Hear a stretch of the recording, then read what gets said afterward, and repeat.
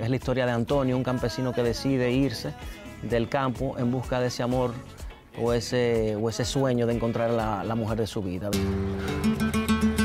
Como esa chambre de mujer que va ahí. Un hombre que, que todavía cree en el amor, todavía está buscando el amor. Simple, un hombre de campo, como actor. Para mí eh, es uno de los papeles que yo me he conectado más.